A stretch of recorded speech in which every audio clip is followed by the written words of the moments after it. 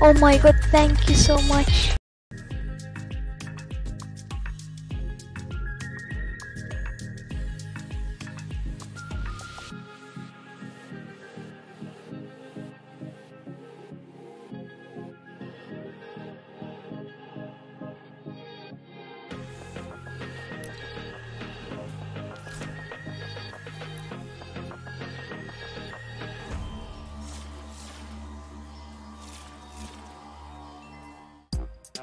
We'll be right back.